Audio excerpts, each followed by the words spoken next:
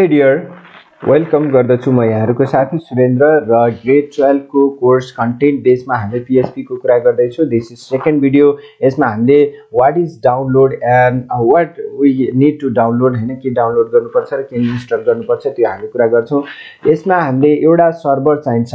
है local server हामीले बनाउनुको लागि हामीलाई सर्भर पनि चाहिन्छ किनभने हाम्रो होस्टिङ कतै गरेका छैनौँ। हामीसँग सर्भर अहिले छैन। सो यसको आउटपुट हेर्नको लागि हामीसँग सर्भर चाहिन्छ। र सर्भरको लागि हामीले ज्याम्प मैले अघि पनि कुरा गरेको थिएँ होइन? योभन्दा पहिलाको भिडियोमा पनि कुरा गरेको छु। सो ज्याम्प हामीले इन्स्टल गर्छौँ लोकल सर्भरको लागि। एक्सएएमपिपी ज्याम्प हामीले इन्स्टल गर्छौँ। र त्यसपछि हामीले अहिले मैले बिएस कोडमा गर्छु र बिएस कोडमा यसको कोड रन गर्नको लागि हामीले एउटा सानो एक्सटेन्सन फाइल छ त्यो हामी इन्स्टल गर्छौँ। सो फटाफट म यहाँहरूलाई ब्राउजरमा लान्छु र ब्राउजरबाट जस्तै हामीले ज्याम्प युज गर्छौँ होइन? सो ज्याम्प यहाँबाट डाउनलोड गर्न सक्नुहुन्छ इट्स भेरी सी इजी होइन? तपाईँहरूले यहाँबाट जा ज्याम्प गर्ने बित्तिकै यहाँ डाउनलोड भइसकेको हुन्छ र यो डाउनलोड भइसकेपछि तपाईँले डाइरेक्टली यसलाई रन गर्न सक्नुहुन्छ।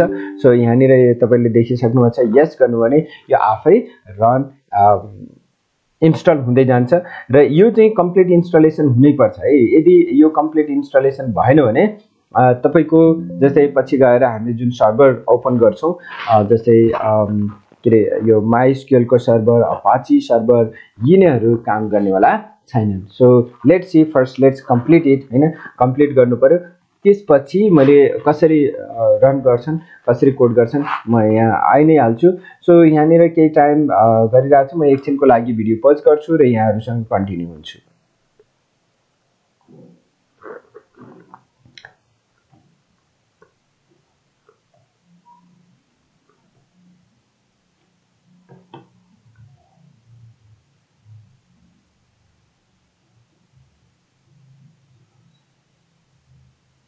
यो इजी छ इन्स्टलेसन साह्रै इजी छ होइन? डाइरेक्टली तपाईँको इन्स्टलेसन र इन्स्टलेसन गर्दाखेरि हाम्रो सी ड्राइभमा गएको हुन्छ इन्स्टलेसन सो मैले यसलाई एकछिनको लागि क्लोज गर्ने हाम्रो इन्स्टलेसन भइरहेछ र जस्तै अब यस सँगसँगै मैले यहाँनिर भिएस कोड पनि ओपन गरि नै हाल्छु ताकि टाइम बचाइराखौँ होइन?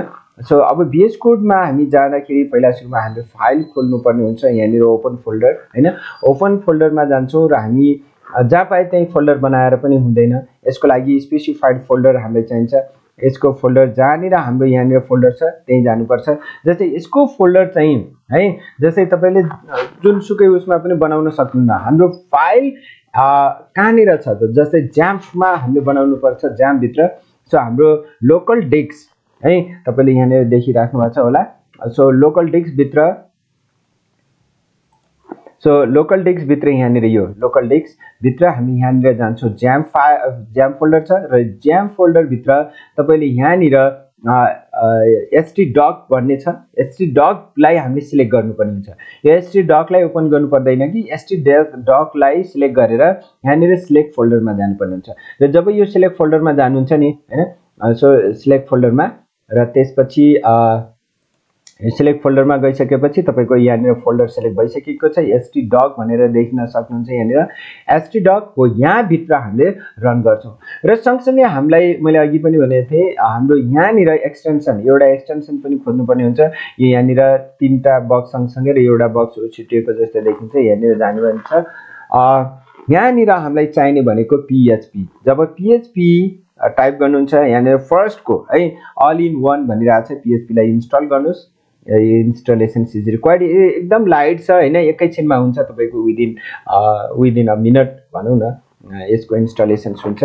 सो म यहाँलाई हाम्रो फोल्डरतिर लैजाउँ।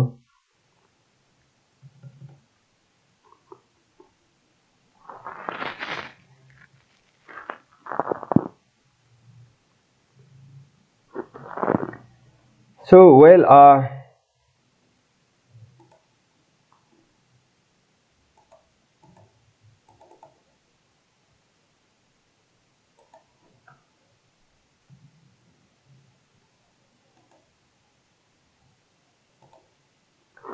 म यहाँलाई यो मेरो इन्स्टल पनि भइसक्यो होइन? सो यसलाई मैले क्लोज गरिदिएँ र हाम्रो एक्सप्लोर यो साइडमा तपाईँहरूले देख्न सक्नुहुन्छ यहाँनिर। So this is our side यहाँनिर साइडमा जानुहुन्छ भने यहाँ एक्सप्लोर सक्नुहुन्छ तपाईँले, है? सो यहाँ so let's I will show you यहाँ त। यो एक्सप्लोर यहाँनिर यो हाइड पनि गर्छ सो पनि गर्छ। हाम्रो यहाँनिर एसटी डक्सलाई सिलेक्ट गरेका छौँ र यहाँबाट हामीले फाइलहरू बनाउँछौँ। जस्तै केही फाइल्सहरू यहाँनिर बनाइसकेको देखिन्छ। बट इट्स डोन्ट वरी अब दिस होइन? म हामीलाई यो फाइल कुनै पनि चाहिँदैन। तर यहाँ बाहिर हामीले यहाँनिर यो प्लसमा गर्नु भने एउटा फाइल बन्छ फाइलको लागि यहाँनिर दिन्छ। र यसमा हामीले पिएचपी फाइल गर्न सक्छौँ। सो यहाँनिर पिएचपीको कुनै पनि नाम दिन सक्नुहुन्छ एबिसिडी सो मैले यहाँनिर माई पिएचपी डट पिएचपी भनेर राखेँ तर यो एक्सटेन्सन चाहिँ लास्टमा डट पिएचपी राख्नै पर्ने हुन्छ। यहाँनिर इन्डेक्स फाइल छ इन्डेक्स फाइलबाट पनि हामीले काम गर्न सक्छौँ। Index file is the main यो आफैले उसले क्रिएट गरिदिइराखेको हुन्छ त्यसबाट पनि हामी काम गर्न सक्छौँ। तर हामीले अहिलेको लागि छुट्टै गरौँ ताकि हाम्रो आफ्नो कोड आफैले पनि रन गर्न सकौँ। र हामीसँग ज्याम पनि इन्स्टल भइसकेको छ होइन? सो ज्याम्पलाई चाहिँ हामीले रन गर्नै पर्ने हुन्छ केही अपाची ल्याङ्ग्वेजहरू जस्तै हेर्नुहोस् त। ज्यामको कन्ट्रोल प्यानल खोल्नुपर्ने हुन्छ जस्तै अब यो अर्को दिन आउँदा पनि हामीले यहाँनिर क्लिक गर्नु भने तपाईँले यहाँनिर ज्याम कन्ट्रोल प्यानल पाउनुहुन्छ र ज्याम कन्ट्रोल प्यानलमा यहाँनिर दुईवटा कुरा। फर्स्टको अपाचीलाई स्टार्ट गर्नुपर्ने हुन्छ र माइएसक्युएललाई स्टार्ट गर्नुपर्ने हुन्छ। यो दुईवटा स्टार्ट गर्नै पर्ने हुन्छ। हुन त माइएसक्युएल नगर्दा पनि हुन्छ तर अपाची चाहिँ स्टार्ट भएकै हुनुपर्छ। यो सर्भर स्टार्ट भएपछि यदि तपाईँको केही गरी आएन कतिपय स्टुडेन्टहरूले सोध्नुहुन्छ सर मेरो यो चाहिँ अनै भएन। यदि त्यस्तो छ भने इन्स्टलेसनमा केही डिफेक्ट भएको छ होइन? तपाईँहरूले त्यो बुझ्नुपर्ने हुन्छ। सो यहाँनिर माई पिएचपीमा अब मैले कोड गरेर देखाउँछु होइन? मेरो यहाँनिर सर्भर पनि मैले गरिसकेँ। र के जस्तै अब यसको लागि हाम्रो मेन सिन्टेक्स चाहिँ के हो? मेन ट्याग के हो त होइन? सो हाम्रो स्टार्ट एङ्गल ब्राकेटबाट सुरु हुन्छ र त्यसपछि यहाँनिर क्वेसन मार्क्स त्यसपछि हामीले यहाँनिर पिएचपी राख्छौँ र यसलाई पनि हामीले सँगसँगै क्लोज केले गर्छौँ। क्वेसन मार्क्स एङ्गल ब्राकेट हो। यो बिचमा हामीले जति पनि कोड लेख्नुपर्ने हुन्छ पिएचपीको यो बिचमा लेख्न सक्छौँ। सो जस्तै मैले यहाँनिर इको भनेर लेखेँ। So it is not case sensitive होइन? जस्तै मैले यहाँनिर इको लेखेँ पनि it is not case sensitive यसलाई हामीले क्यापिटल पनि लेख्न सक्छौँ क्यापिटल स्मल पनि लेख्न सक्छौँ अल स्मल पनि लेख्न सक्छौँ। यो केस सेन्सिटिभ होइन। तर भेराइबल बनाउँदाखेरि म अर्को भिडियोमा कुरा गर्ने रहेछु भेराइबल बनाउँदा that is the case sensitive.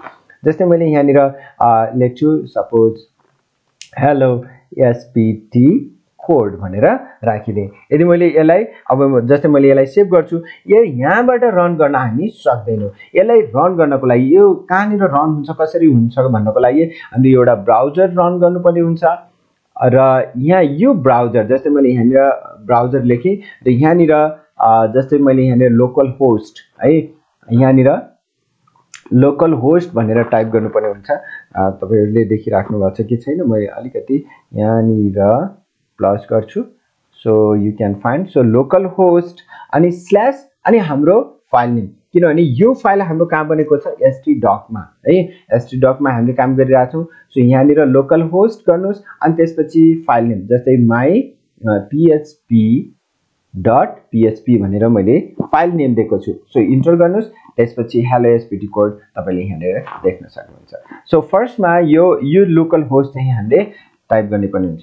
यदि यो फाइल नेम गर्नु भएन भने जस्तै local host my admin PHP admin आउँछ त्यसबाट पनि त्यसलाई हटाएर पनि तपाईँले आफ्नो फाइल नेम राख्न सक्नुहुन्छ।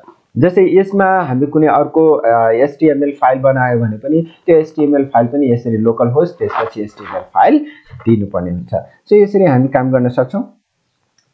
सो म यहाँहरूलाई फेरि आफ्नो उसमा लगेँ। सो यहाँहरूलाई कस्तो लागेको छ जस्तै मैले यहाँनिर भिएस कोडको कुरा गर्दैछु। सो केही कन्फ्युजन छ भने यहाँहरूले भन्न सक्नुहुन्छ जस्तै यहाँबाट तपाईँले केही चेन्ज गर्न सक्नुहुन्छ होइन? So easy to way to use it so see next video म यसपछि हामी अर्को भिडियोमा भेराइबल्सको बारेमा अपरेटर्सको बारेमा कन्टिन्यू यहाँहरूलाई लाने छु सो प्लिज सब्सक्राइब मसँग जोडिनुहोस् होइन? सब्सक्राइब गर्नुहोस् लाइक गर्नुहोस्। Thank you see you next video